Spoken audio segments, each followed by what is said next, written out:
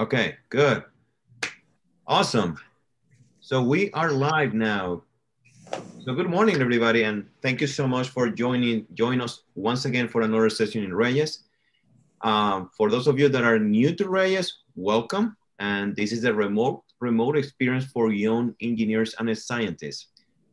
For those of you that do not know me yet, my name is Orlando Ayala, and I'm an associate professor in the Engineering Technology Department here at Old Dominion University. Today, I will be serving as the moderator for the engineering session titled Biologically Inspired Robo Robotics, From Animals to Adaptive Machines. It is pretty amazing to see how robots have been evolving in the last few years. Um, it, and it's even more amazing to see that they can replicate what animals do. Well, our speaker today is an expert in that area. He will entertain us while teaching us on the current state of the art of the topic. And our today's speaker is my dear friend, Professor Krishna Kaipa. He is an assistant professor in the Department of Mechanical and Aerospace Engineering at Dominion University. He received his bachelor degree in electrical engineering from Birla Institute of Technology and Science in India, and his master and PhD degrees from the Indian Institute of Science in Bangalore. He did his postdoctoral research at University of Vermont and University of Maryland. His research interests include biological inspired robotics, which is the topic of today, collaborative robotics, autonomous vehicles, swarm intelligence, and robotics in education. He received his Best Master and PhD degrees awards, Best Paper Awards in international conferences. So he's really good, I can tell you that. Dr. Kaipa chaired ASM Engineering Conference committees and currently serves as an associate editor for Journal of IEEE Robotics and Automation Letters. And I'm not even I'm not, I'm not even short on what I'm saying. That he's really good. He's a very good friend of mine. He we work together in certain projects, and he's really good. And he's really really humble. I like to work with him. Now we will start the presentation that will last about 30 minutes. We then will switch to questions from the audience, but feel free to start sending questions as you listen to the talk. Please use the Q&A button at the bottom. Uh, Professor Kaipa will answer as many questions as possible during the last part of our segment. Now, without further ado, here's my dear colleague, Professor Krishna Kaipa. So Krishna, please take it away. Oh, uh, thank you so much, Dr. Ayala, uh, for such a wonderful uh, introduction uh, of what I do and uh, about myself. Uh, good morning, all. So my talk today, I've titled this titled it as bio-inspired robots uh, and how we uh, take inspiration from animals and go from there to adaptive machines.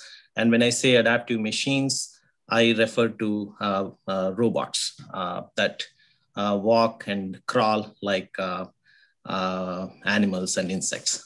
so let's let's see what it entails. Um, So Dr. Ayala already introduced me as uh, assistant professor in mechanical aerospace engineering, and also I direct the collab collaborative robotics and adaptive machines lab here. Uh, so let's jump into the uh, talk. Uh, before entering into bio-inspired robotics, I wanted to give you the landscape of traditional robotics, uh, where we mainly use purely engineered solutions to different tasks. Uh, so in this presentation, I'm mainly focusing on locomotion, meaning like meaning uh, um, meaning like moving from one point to other point, just like you see some vehicles here that are uh, that have mobility. So that is locomotion.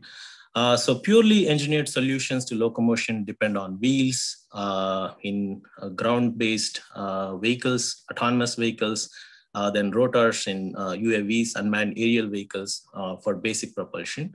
Uh, so that's what you see here, unmanned ground vehicles, unmanned underwater uh, surface vehicles, aerial vehicles, and so on.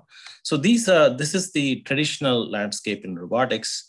however, biological inspiration entails how we take, we look at, we study animals, insects, how they evolved distinct traits to perform in uh, reliably in a variety of unstructured environments to adapt to different environments for survival and other uh, purposes.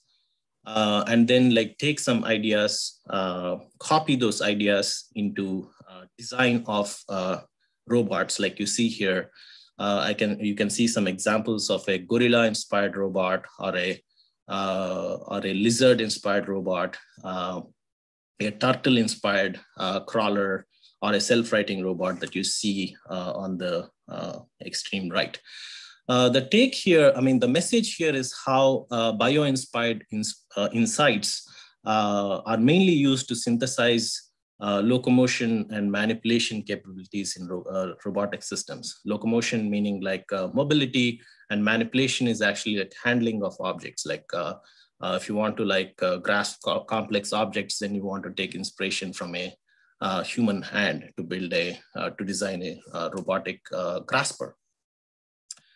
and for source of bio-inspiration, you have the entire uh, the entirety of animal kingdom, vertebrates, invertebrates. Uh, the, the, examples that you can see here, uh, if you want to build a robot that can, uh, uh, you know, propel underwater, maybe you can take inspiration from fish, how the fish has several control surfaces and how it uses undulations to generate forward thrust and so on uh, for a robotic gripper, human hand, and so on. Uh, so while we have all this uh, kind of uh, resource uh, uh, resources for inspiration to build robots for different applications, the main aspects that we look for, that we try to copy are, one is like morphology, uh, morphology refers to like the body structure of the uh, of the animal like how the, uh, let's say locomotion is our focus, then how the legs are attached to the uh, body structure. Are the legs like, you know, like how you see in lizards, are they like moving like sideways? Are they closer to the ground? Or in like cats or dogs, or even us human beings, uh, the legs, we, uh, they move in a vertical sagittal plane. And these morphological differences uh, lead to different capabilities in, in animals. Uh, so that is one primary aspect that we try to copy into uh, robots. And then you have biomechanics and control aspects. So today I'm mainly, will, I'll be focusing on the uh, body structure of the animal and how we see that in different uh, robots, some examples that we see here. Uh, so for more formally, morphology refers to the overall body plan of the natural creature that is chosen as the inspiration source. Like you see on the right, you have a lizard. So then we try to copy uh, first like the structural aspects, like how the uh, legs are like moving like sidewards. I have an example here. Uh, for example, uh, so this is a robot uh, inspired uh, from a lizard. So you have these like legs moving like sideways like that correct and also like the aspect ratios like what's the ratio of length from uh, from the head uh, to, uh, to the rear uh, to like the side lens, right? So these are aspect ratios we try to copy into the robotic structure. so all that refers to the kind of kinematic structure of the body. then morphology also involves like geometrical shapes, aspect ratios, and then something called compliance or stiffness properties. Like we have even as like you know in our muscles we have like like some springy properties which we try to copy into robots. Uh, and then there are some uh, certain limbs that are specialized for propulsion versus those specialized for manipulation uh, and so on. Uh, one example is like how uh, if you take like the, uh, you know, a monkey's tails, they are like prehensile. They're able to like hold on to branches versus some tails of some like crocodiles or alligators, they're not, they are non-prehensile. So that's what we mean by how some limbs are specialized for manipulation, some are for some other uh, propulsion purposes and so on. Um, so the, the reason morphology is important is because it determines whether the animal can operate in a particular environment or not. And it also impacts how well uh, uh, it is uh, adapted uh, for a particular um, like survival in, in certain uh, envi harsh environments. Um, so exactly like how I explained, you can see the lizard family, the like, you know, the hands, the legs are moving sideways versus like cats or dogs. Actually, you have like a cat inspired robot here uh, where the legs are like moving in a sagittal plane or more in a vertical plane. Uh, right? Uh, so let me show some examples of robots that take uh, where inspiration is taken from some animals like that and copied into uh, uh, robots. Uh, so the theme that we follow here is first, in a course I teach on the topic, students like they first like get to get up to speed on the kinematics, like the mathematical fundamentals of, of the robots, like what's the mapping from how much angle at the joint to how much movement is made at the foot and so on. Uh, and then they uh, take inspiration from some animal, uh, then make some rough sketches, then go from there to like 3D uh, printing, uh, or make first like even like making CAD models of those uh, of those ideas, and then we go from there to 3D printing, assemble the robots, and so on. So let me, in the interest of time, let me play the video, and they are like kind of self-explanatory. Um,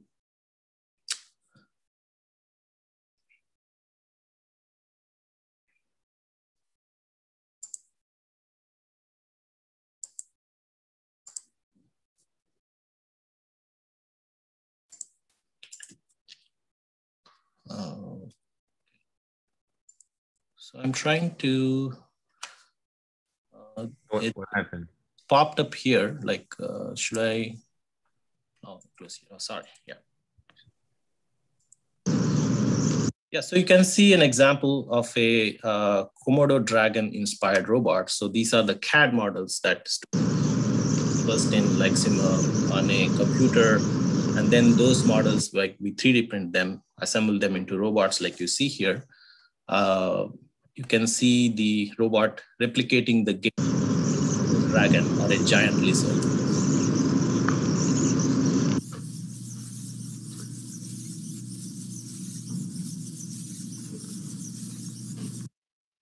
So that's a sloth inspired robot.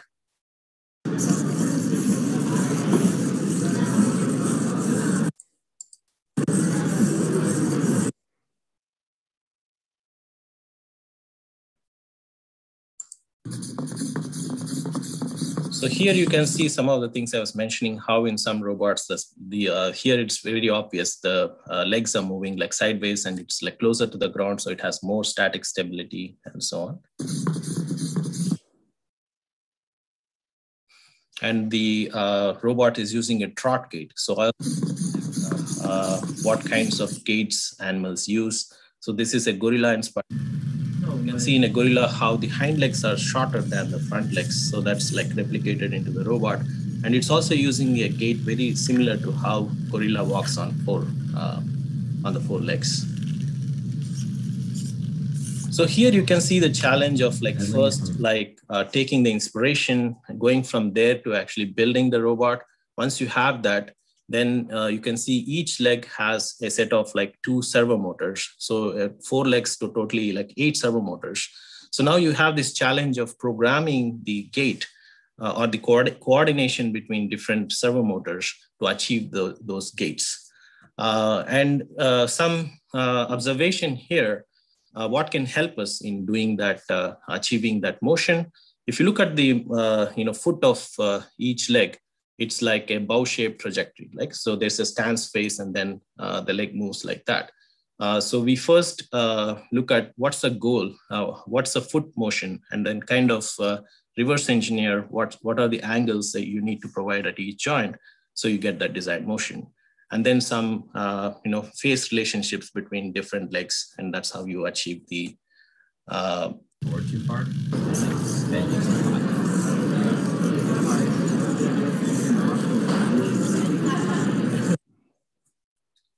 So here is another semester. Um, and again, I'll be speaking here, so you could just watch the inspiration, the inspiration part. Nature offers examples of animals and insects that evolved distinct morphological, biomechanical, and control structures.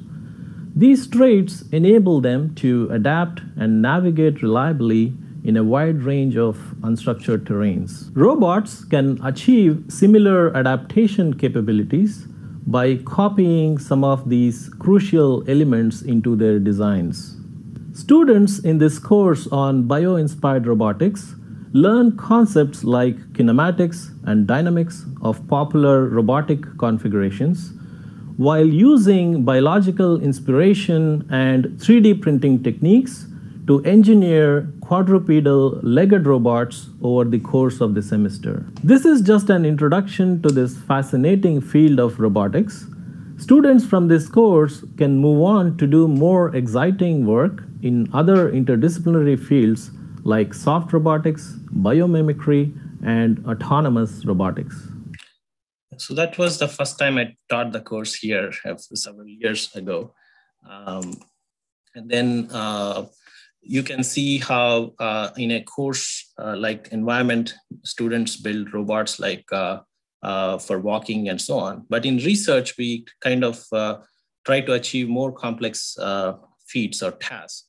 For example, in this project, we tried to build a robot that could that achieves um, amphibious capabilities, meaning like walking on land and swimming in water and for that purpose, we took inspiration from freshwater turtles because they are reasonably good uh, swimmers.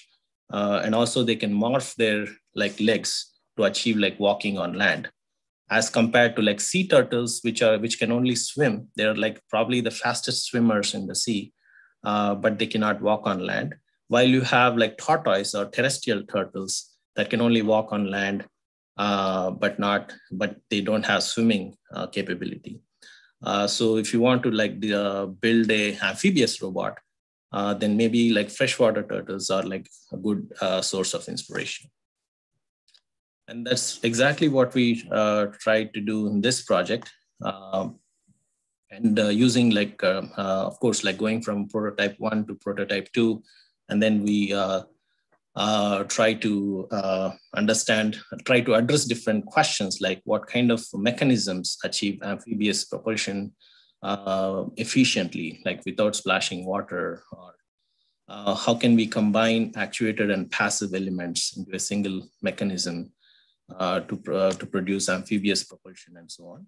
And also we, uh, we tried different uh, configurations, uh, different uh, material uh, like uh, combinations, thickness, and, and several parameters to achieve, to optimize locomo locomotion performance.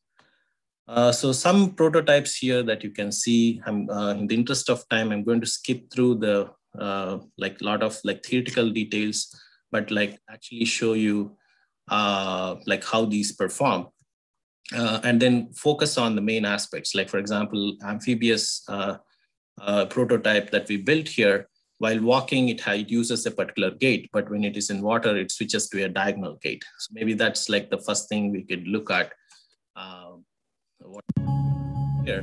For example, like uh, uh, while walking, it was using some gait, like a diagonal, I think, yeah, a trot gait, but when it's in water, like it uses some kind of a uh, parallel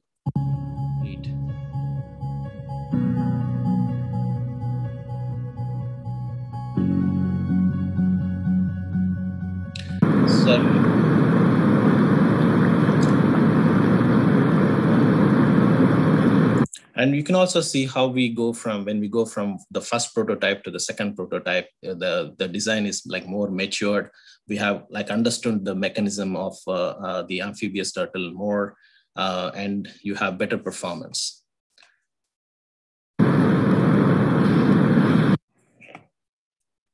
Uh, so these are some like showing like uh, different gaits like trotting gaits uh, trotting gait and then the gait used for swimming. Um, and then how, what kind of uh, optimization we do with different. Uh, so all these are like design variants. for example, for flap axis, you could either use horizontal or vertical. For flap hardness, you, you have different values. So here, this kind of in this kind of analysis, we are uh, we are trying to come up with that combination of uh, parameters like flap thickness, flap hardness, and so on that give you that gives us the best like uh, forward uh, thrust. So if we use that or the average force, so then we do this kind of detailed analysis, like maybe put a sensor in the uh, robot that can uh, sense the thrust, and then use different combinations here and like see like where the uh, force is peaked and maybe use that combination of parameters in the actual construction of the robot. Uh, so this is like, uh, of course, work I did when before coming to Old Dominion at Maryland, uh, University of Maryland College Park. Uh, I thought this is an interesting uh, prototype or a design to look at. RoboTerp 3 is the third generation of the University of Maryland's robotic terrapin series. RoboTerp 3's new 3 degree of freedom joints enable faster swimming and better maneuverability.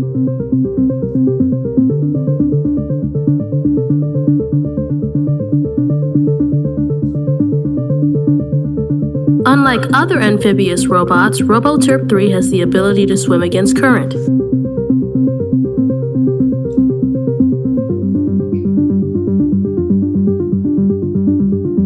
The rotational shoulder joint mimics a real turtle by allowing RoboTerp to transition from swimming to walking. So that's the aspect I was mentioning, how freshwater turtles have uh, capability of swimming. And when they're on land, they're able to morph their structures in a way that enable them to uh, perform like uh, walking. Uh, so if you see while swimming, they had a particular like stance of their uh, of the uh, legs, but when on land, they were like slightly uh, oriented. Uh, shoulder joint mimics a real turtle by allowing RoboTerp to transition from swimming to walking.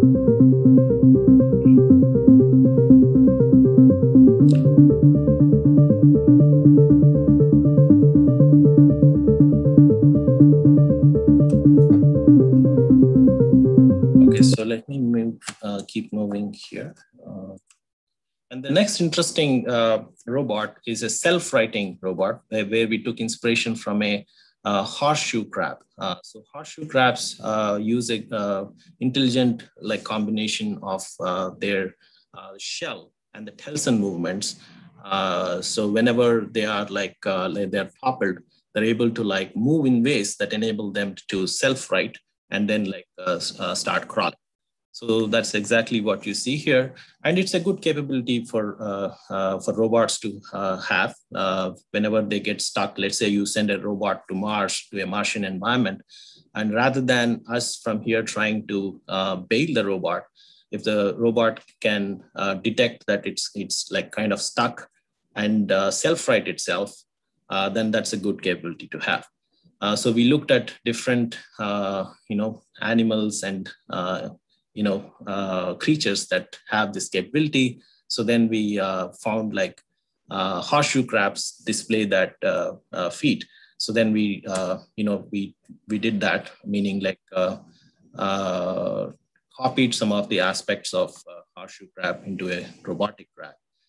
and for that purpose, we actually took the scan of a real, like natural horseshoe crab.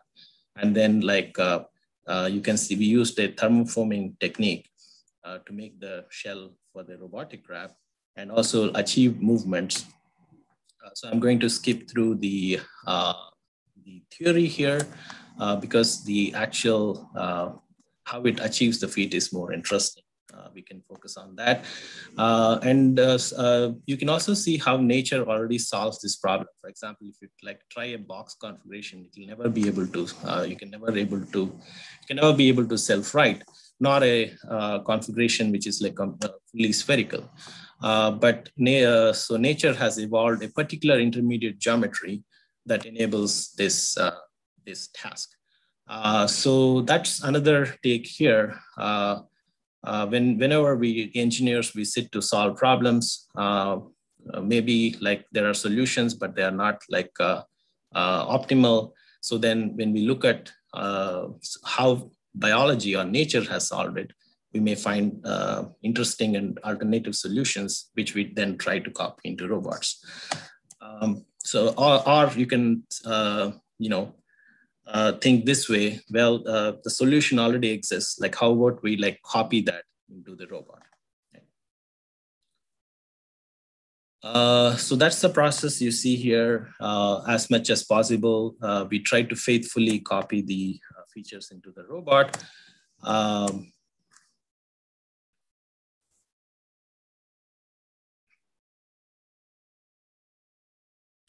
there's uh, volume spots. A new surf zone robot is inspired by horseshoe crabs, which are built for effective surf entry with minimal mass and power. The walking gait was developed from the mechanics of horseshoe crab walking, which uses the vacuum formed shell for support and the legs for propulsion in granular media.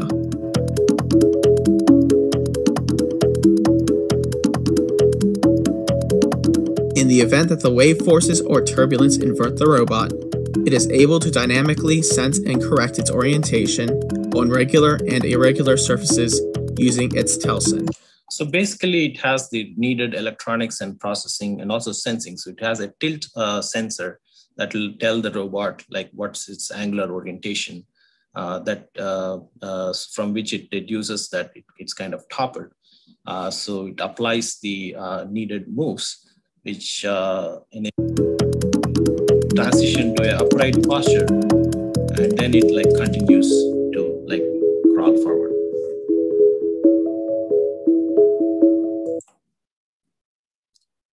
Okay, so this uh, now like transitioning to a slightly different, uh, uh, say, you know, domain where we take inspiration from infants or like how uh, babies they uh, learn skills, complex, increasingly complex skills by imitation of uh, their parents or their caregivers.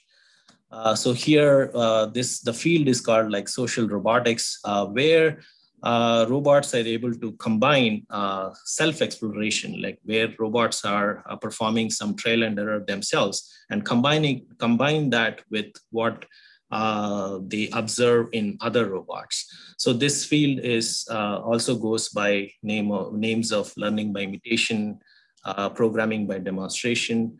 Uh, so here, uh, rather than manually programming the task into the robot, uh, you just show the task to the, you know, how to perform the task. And the robot is able to like observe the action and imitate that first. And then in the process also like learn to perform the same task in different situations.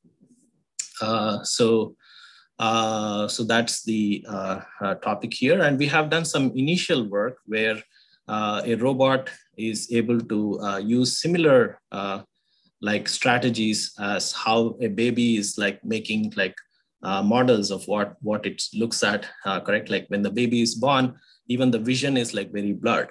Uh, so it uses like simple models like cubes and uh, uh, spheres and so on uh, to model like what it is looking at and like try to make a sense of that.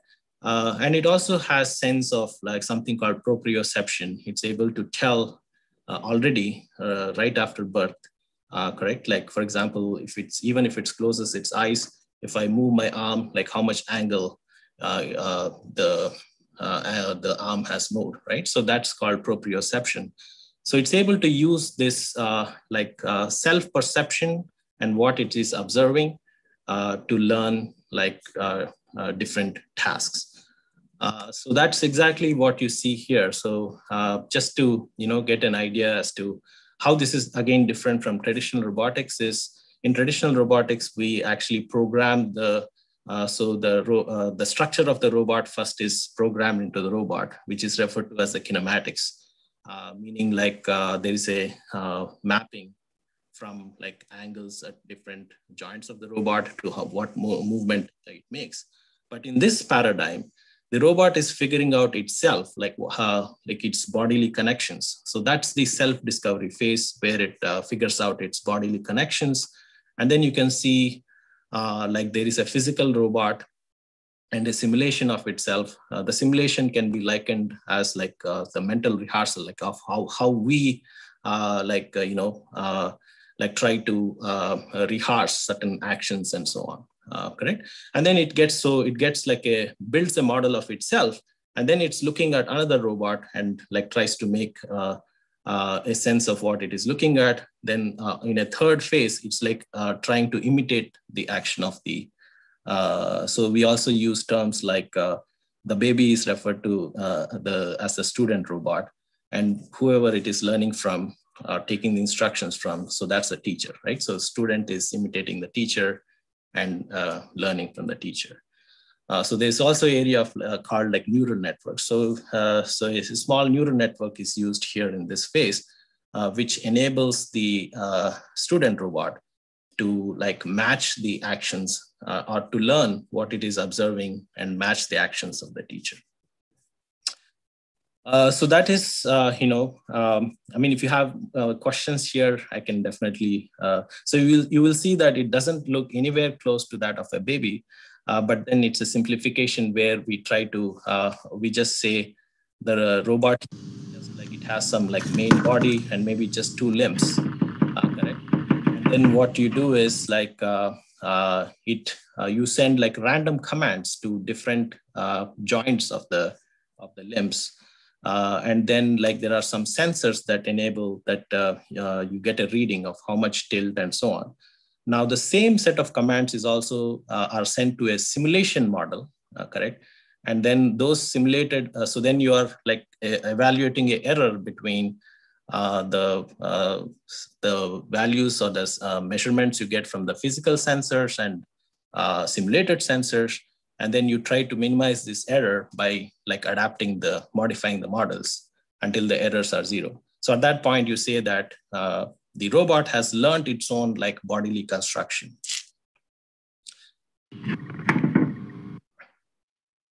Right? So uh, so that's the process you see here. So this is a simulation engine again that can simulate like the physics the collisions and so on. So you can see initially uh, you know the concept uh, it has of its body is like the legs are connected in some weird fashion. But uh, as uh, as the simulation evolves towards the end it, it kind of uh, uh, converges to like it the physical uh, self. And then there is a phase where it is watching another robot using like two cameras and like making some visual models. Like i was telling how babies use blood vision correct so in this particular experiment, it actually like uh, it's just making a decision, decision uh, who is a good teacher to learn from, learn from, correct? Uh, so that's the field of uh, you know learning by imitation. It's uh, mainly like theoretical in nature than like what I explained earlier, uh, but it's I just wanted to like introduce a topic like this too.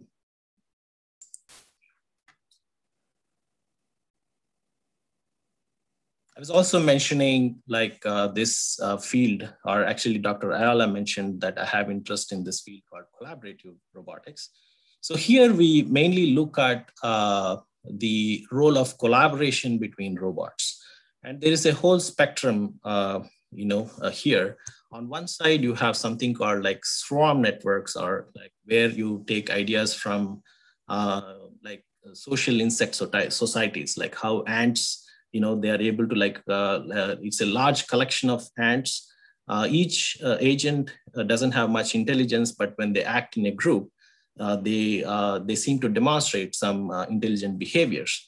So that is like utilized to solve like complex tasks. So that's like collaboration among like a swarm of lot of several agents. That's on one end of the spectrum.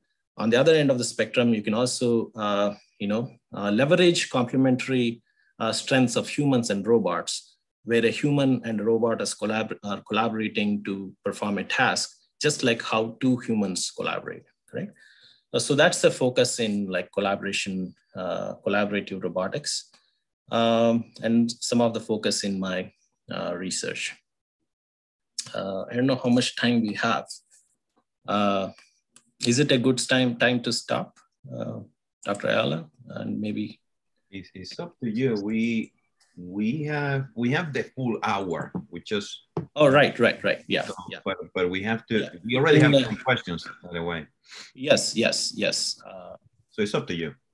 Right. Uh, so I can actually play this video. You know where I was talking about uh, this swarm networks. Uh, the task here is like you have all these like uh, locations uh, that you want to detect. It could uh, be like maybe a nuclear spill or something, or a like a chemical uh, leak in a factory. And instead of like one leak, let's say you have like multiple leak locations, and you want to like uh, simultaneously uh, like detect all of them. Uh, so that that task is challenging. Uh, and one of the algorithm I developed during my PhD uh, is uh, can be applied to a task like this, and that's uh, kind of like one example where the algorithm can be applied. Uh, so let me play that, and I think uh, it's an interesting simulation to watch.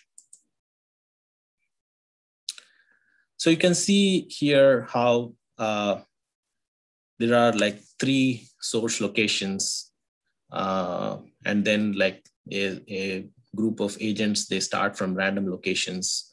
Uh, so the swarm, the algorithm enables the swarm to first like split into like subgroups and each of the subgroup is like uh, converging to one of the, is able to detect uh, the source location and kind of converge towards it. But here there are several challenges because you never know uh, where these locations, where these sources are, the distances between different sources and how many uh, such sources are there. Uh, so it is difficult to like set parameters like uh, how much range uh, each agent should have to enable like the connectivity between the agents. Uh, so here, uh, the main principle by which the agents are moving is like you have the ability to sense the value of, let's say, the leak at your own location, and then you compare that with that of a neighbor. And then if you if the neighbor has, has sensed more, uh, you know, uh, value than yourself, then you try to move towards that neighbor, uh, correct? Uh, now imagine like you have access to all the neighbors, then meaning like you have a large uh, sensing uh, range, then what happens is, uh, like you saw in the first case, all of them like they converge to, uh, you know, just one of the several sources. Or for example, like the source that has like the maximum concentration, correct? Uh, but here the problem is the goal is to detect all of them. So then, uh, then we experiment with, okay, let me like reduce the sensing range to a slightly less value. Uh, then probably it'll, uh, the swarm will be able to capture like, uh, like multiple of them. But then here you can see the third one is like left out, correct? So then you still further reduce the sensing range. Uh, then you see that all three are captured. But in this particular case, there are only like three sources so uh, you can kind of, uh, you know, uh, keep changing these sensing ranges and then uh, detect all of them. But in cases where uh, you, you there are there are several spills and you know, and it's like a random distribution, then you can never set a constant range. So this algorithm uses something called adaptive range, where it is like modifying the range itself every iteration, depending on how many neighbors it has right? So if it has like too many neighbors, then it will shrink the neighborhood range and only consider uh, neighbors uh, that are like, uh, you know, maybe three or four in a small neighborhood. Or if it is like isolated, then it will expand the neighborhood range. So it's able until it finds a neighbor. So connectivity is maintained. So when, when you use such adaptive capabilities in the swarm, then you see like uh, beautiful behaviors like this. For example, in this in the uh, in the picture here, uh, there are like completely locations are completely random and then you have like 10 sources uh, but they're able to like nicely uh, split into like adaptive swarms sub swarms and converge to all of all the locations so that's the uh, algorithm it's a swarm intelligence algorithm and agents in the swarm are collaborating in certain ways in decentralized ways uh, to solve a task like this right? So yes, yeah. So maybe let's. Uh, I see like five questions here. Yeah, we have a couple of questions. I have some questions as well, by the way. Oh, okay, okay. Let, yeah, shall, shall I go with this? Uh, uh, Curie Gregory has uh, had a question. Uh, can I just read and uh, try to answer? Uh, sure. I can read them for you, but and but if you want to go ahead, go oh, ahead. No, no, no. Please, oh. you read. You read. okay, Curie Gregory. In constructing the joints of the robots, should all the joints be copied from the animal inspiration, or is it more practical to have the minimal requirements for intended motion? Wonderful question. Yes. Yes. So if you look at the actual, even us human being, like, you know, our shoulder has like three degrees of freedom, correct? You have three degrees of freedom. Uh, the elbow has only one degree of freedom, correct? And uh, at the wrist, you have like, again, you're able to do uh, three uh, motions. That means three axes. Uh, so what you will see is uh, for basic locomotion, you don't need to copy the entirety of the joints. Uh, and in all the examples, you could see only like two joints. And then even the ankle is like uh, simplified to just a point, correct? And then like the hip has only one degree of freedom rather than three degrees of freedom. So it was just like uh, two that were per leg. Uh, so does that answer your question, Gregory? Minimal, so minimal uh, depending on the task, right? Uh, sometimes uh, you want like uh, to achieve locomotion on a more complex terrain, then you may want to increase, slightly increase the degrees of freedom to a point where it's uh, manageable control-wise, and also it's able to like adapt, uh, like you know, stance posture so it's stable and so on. So Gregory, if you if you need more info, more deeper answer to that, just let us know. Let's go for the next one. Andres and his question is, do you use Arduino language to program robots?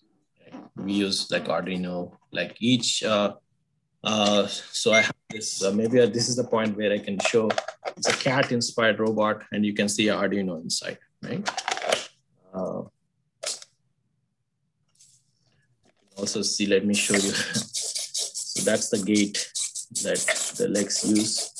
And you're right, so Arduino is used uh, in all these robots. All right, so let's go for the next one. And that's from Anchal Sasina, I think. Saxena, yeah. If, I apologize if I mispronounced. No, no, no, it's good, it's good, yeah. Are the self-learning robots programmed with artificial intelligence? And how are they programmed? And does the code modify itself as the robot learns as it is, it is manual? Right, yes. Yes, uh, great question. Yeah. Uh, so first, we should uh, uh acknowledge that self-learning is a is one part of uh, one subdomain in the uh, art of artificial intelligence. so it is artificial intelligence. And then, so that way, we, if you say programmed, yes, they are programmed under the AI paradigm. and then, like, how are they programmed? and does the code modify itself? Yes, I did show you how like there's a basic structure. You tell the robot how, uh, what's the approach to learn, uh, but the uh, uh it is not modifying the code, but it is modifying uh, like the model of itself. Uh, correct. So you you first provide a specification of the robot saying that it has a budget of this many limbs and the and the possible connections between the limbs and uh, if you just provide the possibilities, and then it will search in these uh, combinations of possibilities and try to converge towards the optimal uh, combination of uh, limb connections and so on, right? So it's not code modifying the code, but it's modifying the model uh, of the robot, yes. Interesting, very interesting. Um, perhaps this is related to that question. So Nicolas Estevarios, how can you make a robot to be autonomous? yes, awesome question. So, uh, so you saw all the examples where they were the biologically inspired robots. The gait is like manually programmed. Uh, you figure out like uh, how much each uh, uh, joint should rotate, like 45 or 30 degrees and so on, and just manually achieve uh, manual programming, achieve the gait But to, in order to make the robot autonomous, uh, several modules are needed. For example, it needs to have sensing. It, it, has to it has to be able to sense its surroundings so that it knows whether it's like bumping into an obstacle. Uh, so that is uh, the first uh, capability it needs to have. And then it needs to be able to locate itself with respect to some coordinate system, localize itself using again some sensors. Then it needs to like plan a path, uh, where to go, and just like a self-driving car or uh, and so on. Uh, so all these modules are needed. like for example, like sensing, path planning, then like control. Control is needed to like uh, some feedback control is needed. So you provide a path specification, but how does it uh, like use sensing information to like track that path? So that's the control and some, of course, at some point, like learning. Uh, let's say it uh, it encounters a situation which he has, has not seen earlier. So it should be intelligent enough to, uh, so all these aspects of sensing, then localization, planning, control, and machine learning are needed to make the robot autonomous. Good. that's, that's a lot more uh, complex, but good, awesome, interesting. So Elsie Cruz Murrieta, this was an amazing presentation. The field of biorobotics is pretty interesting. So now is the question.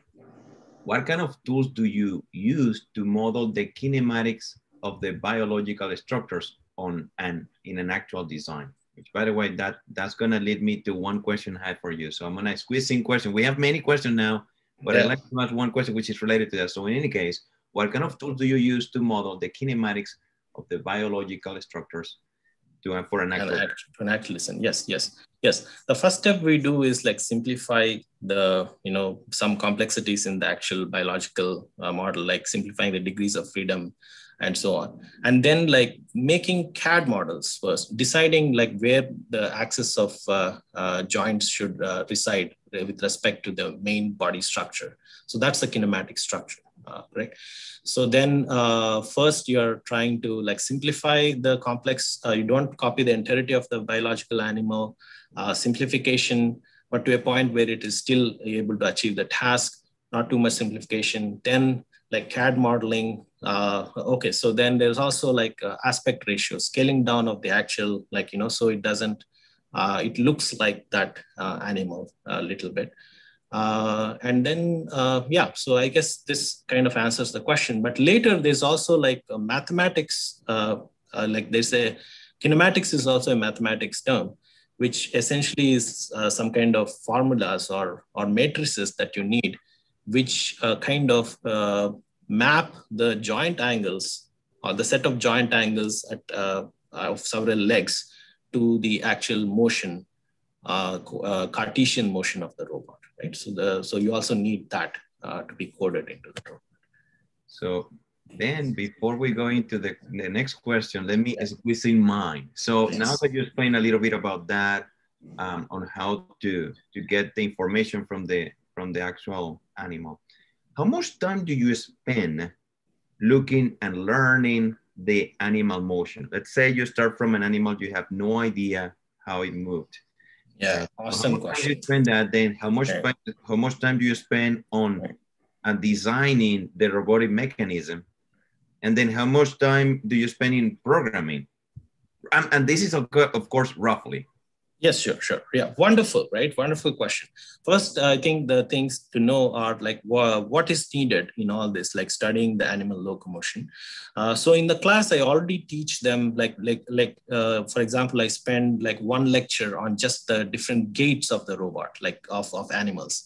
Uh, for example, animals they use like trot gait or ambling for different speeds. When they're walking, they're using trot, and when they are like running, they're using galloping. So I, I already teach that theory. But then when they are designing their uh, robot, I ask them to watch lots of videos of that animal. Mm-hmm. Let's say, for example, a giant lizard or a lizard uses uh, locomotion like sideways. Then I ask them to watch the videos of the animal, like how the legs are moving. Uh, because like when you keep watching them and different videos, then you kind of get a sense of uh, how the coordination is achieved. Uh, so that depends then on the student, like how much, or maybe like, you know, may uh, spend a day or two just like uh, studying the locomotion of the animal. Uh, and then of course the, so can we give like two days, three days on that? Like students spend time on that. I give usually like a weekly assignment, weekly. Uh, so I say like by next week, I would like you to like uh, come up with a rough sketch of the gait of the animals that you that you have decided to take inspiration from. Okay. And then next, I give like two weeks to go from there to CAD modeling. Okay. And students who have already, like uh, some students have already done a course in CAD modeling. So those are the ones who come with like really good designs. Okay. Uh, but like uh, I usually give like two weeks, uh, but then it also goes to like three weeks when they're, uh, and I have, I have to give, I do give examples from previous uh, semesters um, because there are challenges for students like how do I design the motor mount or uh, how to fix the motor or or couple between coupling between the motor and the leg and so on. And, and what about the programming? So the last day uh, programming, programming uh, students use two approaches. One is trial and error. for in the code, like for each leg, they decide, okay, so uh, Uh, trial and error is one of the best. The problem with that is that it takes a lot of time. a lot of time. but Yes. you learn a lot more. Yes, out but some students like for example you know dr ayala like we had like julian um, in our in our group like who took my course she was probably one of the few students who actually use inverse kinematics uh, so while, while kinematics is going from joint angles to like the motion of the foot inverse kinematics is what is needed to program the gait of into the robot that is going from what is the foot motion needed uh, you know, so then you know so the coordinates, uh, the locus of motion of the foot is in terms of XY coordinates. Okay. That XY motion is mapped into the movements at each joint. And this mathematics is referred to as inverse kinematics. So you have the equations of the inverse kinematics, which you have to like code it into like, uh, in Arduino. right, right. All right. Awesome. Thank you. All right. Let's, we have a question from an anonymous attendee. What is the greater scope in the future for this type of robots? Right. How many of you have watched like uh, the Boston Dynamics, uh, like, you know, Cool. of robots? That's pretty amazing. You know, they can do almost everything. Yeah. Yes, yes.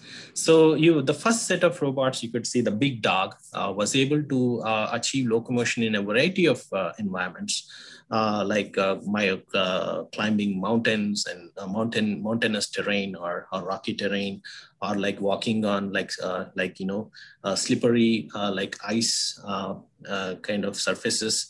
Uh, so even if you kick in the gut, it's able to stabilize its gait. So such locomotion, uneven terrain locomotion helps could help like soldiers, uh, like uh, carrying like low payloads uh, in a like a forest environment. They have to work or uh, correct. Uh, so the like in mil- so they have like such an uh, surveillance like military applications. Yeah. So and even in surf zones, surf zones, and so on. Right. Yeah. Yeah. th- those videos from the Boston Robotics, that's wow. That's Right, right, right. Yes, yes, yes. I have. Yeah. So shall shall we go on? Like move on? Like uh, Yeah, that may go for the next question from- by Syed Inayat Gul. Uh, he, Right. he or she has a, a another question. Are there any disadvantages of robots because there is always two sides of the coin? mhm. You told us the good side of the robotic. What is the bad side of it? And what are the ways that we can fix those disadvantages in robotics? So what's the bad thing about having robots, basically? you want to answer that, Ayala? Like you have any particular opinion? Uh, uh, this is a, yeah, this is a good uh, you know like a discussion. Uh, for of course, like you know there are uh, always like sometimes uh, like robots are not that intelligent as human. They may fail in some situations. So those are like technical aspects. Uh, uh, however, probably you're talking about like uh, robots going and like taking over, like uh, like you know, Definitely, and definitely, we don't want that to happen, right? you don't want that to happen. So many, so, So, many yeah. Hollywood movies that we see that happening, right? right, right, right. So yeah, so the right direction to take is where uh, robots and humans like uh, complement their capabilities, uh, leverage the complementary strengths. Uh, right. So right now, like any tasks that are like rote and mundane uh, can be uh, can be take uh, robots can do them. Uh, for example, one example I can give is uh, in my research, we look at uh, how humans, there are some certain non-repetitive tasks, like uh, as simple as a maintenance task, like removal of rust, correct? So that's like a very hard task, like uh, even now in shipbuilding industry or wherever maintenance tasks, like humans, like they have to like take like complex objects and like remove the rust. So some of the research that we do in our lab, we try to uh, uh, develop technologies that enable robots to do these tasks. Uh, meaning it's a like a very like a physical task, uh, but still robots are not at there because once a robot performs a contact-based task, it's like highly complex. How much force it has to apply, or how much springy it has to be, and so on. So a, a right direction to go is where uh, humans and robots are like complement their capabilities and humans can be used for more like intelligent decision making tasks right Yeah, that definitely, definitely. I can see, I can see that uh, complementing each other, as, as you mentioned, definitely, which is something that perhaps is related to the very last question by Andres, and, and we're running out of time, but we have two minutes, that plenty for Dr. Kaipa to address this question. So Andres asked, are the robots programmed for only moving and correct their position if needed? Or do they also have sensors to interact with the environment? Yes, yes, uh, yes, they do. Yes, uh, you know, there's several, I was just explaining the uh, task where a robot has to remove rust. Then it has to have a sensor that takes back the force because uh, it doesn't have to, it shouldn't apply too much force or too less force. It won't be able to remove like a hard stain. It sensors to, uh, for that, uh, you know, to enable the robot to physically interact with the environment. Or let us say you have a robot just like a, uh, you want to do a study of how uh, a baby robot is like manipulating with objects around it. So then it has to have, it has to use vision, it has to use uh, like tactile sensors to make sense of its surroundings. And the sensing impacts the learning of the robot. Well, with that last question, I wanted to thank Dr. Kaipa for a great presentation and awesome, awesome, awesome presentation. I love it. I love it. This makes me realize um, how much this is this is a, a, lot more interesting. So, so I'm, I'm I'm glad I'm glad you are with us in REYES. Thank you for accepting, giving us the talk, and and and with that, I'd like to say bye to everybody. Uh, we'll yes. have a next session at 2 p.m. this this afternoon um, with a an engineer from NASA. So we'll, we'll, I'm looking forward to see you there. And once again, Dr. Kaipa, thank you so much for your great presentation. Yes, yeah, hi, my pleasure. And I thank you also, uh, Orlando, uh, my friend. no problem, it was such, yeah, it was for me too. It was like really uh, awesome to be here and uh, interacting with all the audience. Definitely, I, I, guess I, I'm, I'm, I will remember this just an FYI, we you have a 50 people audience here, and without yes. that, that's without including the ones that uh, we might have through the our YouTube channel. Thank you so much, Dr. Kaipa. I'll yes. see you. Have a good day. Yep. Bye, everybody.